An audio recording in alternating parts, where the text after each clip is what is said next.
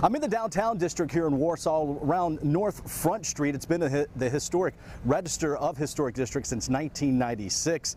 It's a rural town, Warsaw is, but it's far from secluded. US 117, a major highway, runs through the heart of town connecting Wilmington and Goldsboro. Interstate 40 also runs through the west side of town. It is a small town, but there's still plenty of reasons for you to visit Warsaw. Life doesn't quite move this fast in the Duplin County town of Warsaw.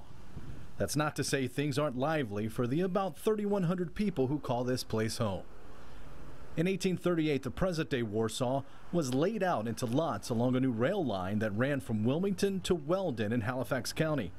Today, that same rail line runs through town. You can find history all around Warsaw. The Warsaw Historic District was added to the National Register of Historic Places in 1996.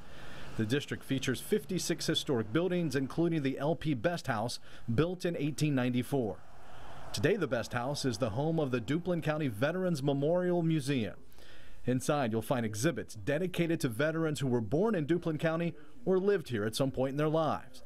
The military plays a big part in Warsaw's identity. The town is home of the official North Carolina Veterans Day Parade, held every November. In fact, the parade is the oldest consecutive Veterans Day celebration in America. It's everything. It brings the entire county together in many uh, places from outside the county. It's a very long parade. Yeah, it, it's, it brings in a little commerce, but it's a fun day.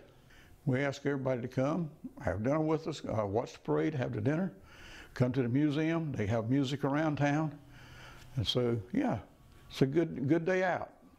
Warsaw actually observed its first Veterans Day in 1921, years before the holiday was formally recognized across the country.